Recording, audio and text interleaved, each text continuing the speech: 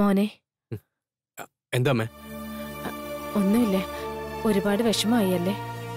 പിന്നല്ലാതെ ഈ വാശിയും വൈരാഗ്യൊക്കെ ഞരമ്പിലോട് തുടങ്ങിയ ഒരു പ്രശ്നമുണ്ടമ്മേ പിന്നെ ജയിക്കണം. ജയിച്ചില്ലെങ്കിൽ വല്ലാത്ത തകർച്ചയായിരിക്കും. അയാൾ മനസ്സ് മാറി തിരിച്ചു വരുമെന്ന എനിക്ക് തോന്നുന്നേ. അത് അയാളെ കുറിച്ച് അമ്മയ്ക്ക് നന്നായിട്ട് അറിയാത്തോണ്ടാ. അയാൾ വരില്ല. അയാളുടെ ഈഗോ ഹർട്ടായ ഒരു സ്ഥലത്തേക്ക് അയാൾ തിരിച്ചു വരില്ല. അതുകൊണ്ടാ അയാൾക്ക് ഈ പ്രത്യേകതരം പേരും പ്രശസ്തിയൊക്കെ ഉള്ളത്. ഞാനൊരു കാര്യം ചോദിച്ചോട്ടെ? അയാളുടെ സ്ഥാനത്ത് വേറെ ആരെങ്കിലും വന്നാൽ നിങ്ങൾക്ക് അങ്ങനെ ഒരാളെ സംഘടിപ്പിക്കാൻ ബുദ്ധിമുട്ടൊന്നും ഉണ്ടാവില്ലല്ലോ. അമ്മ എന്തായി പറയുന്നത് കളിക്കാനുണ്ടാക്കിയ നാടകം മാറ്റി നാല് ദിവസത്തിലടുത്ത് നാടകം എന്ന് പറഞ്ഞപ്പോ ഞങ്ങളെല്ലാവരും ഒരേപോലെ പകച്ചു പോയതാ. അവിടെ അയാളുടെ ഒരു തീരുമാനം പിന്നെ എല്ലാവരും തല ഉയർത്തിയുന്നത് പാതിരാത്രി ആരോ റോട്ടിലിട്ട് മർദ്ദിച്ചിട്ടും. ഞങ്ങളോട് അയാൾ എന്താ പറഞ്ഞെന്നറിയോ?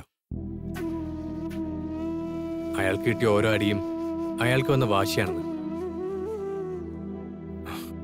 അങ്ങനെ ഒരാൾക്ക് അത് സാധിക്കുമേ മറ്റൊരാളെ കൊണ്ട് ഇനി അത് ചെയ്യാൻ പറ്റില്ല. പോട്ടെ. ഞങ്ങൾ ഒന്നുകൂടി തോറ്റുന്നു കരുതാ. അത്രേ ഉള്ളൂ. ഇല്ല മോനെ. നിങ്ങൾ ദൈവത്തിന് നിരക്കാത്തതൊന്നും ആഗ്രഹിച്ചിട്ടില്ല. നിങ്ങളെ ഒന്നും ദൈവം അത്ര പരീക്ഷിക്കില്ല.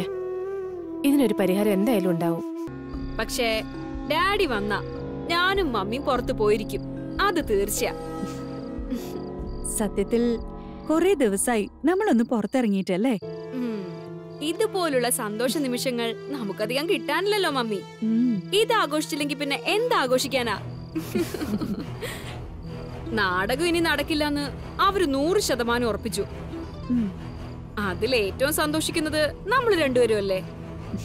വയറ് നിറച്ച് ഭക്ഷണം കഴിക്കണം. എന്നിട്ട് രാത്രി നഗരത്തിലൂടെ കുറച്ചു ദൂരം നടക്കണം. പറ്റുമെങ്കിൽ സമാധാനിപ്പിക്കാനെന്ന ഭാവത്തിൽ ഹോസ്റ്റലിൽ ചെന്ന് അവളെ ഒന്നുകൂടെ കാണണം. അതൊക്കെ എന്റെ പ്ലാൻ.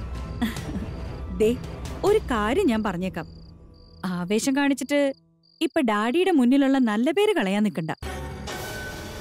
അതെനിക്ക് നന്നായി അറിയാം മമ്മി. സത്യത്തിൽ ഇപ്പോഴാ ഞാൻ ഈ കളികളൊക്കെ അന്ന് ആസ്വദിക്കുന്നത്. മൊത്തത്തിൽ ശത്രുവായിരുന്നപ്പോ അത്ര ഒരു സുഖമില്ലായിരുന്നു. ഇപ്പൊ കാര്യങ്ങളൊക്കെ ഓക്കെയാണ്.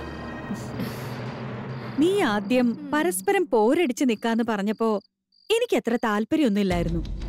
പക്ഷേ ഇതാണ് റിസൾട്ട് എങ്കിൽ ഞാൻ കുറച്ച് മുമ്പേ സമ്മതിച്ചേനെ.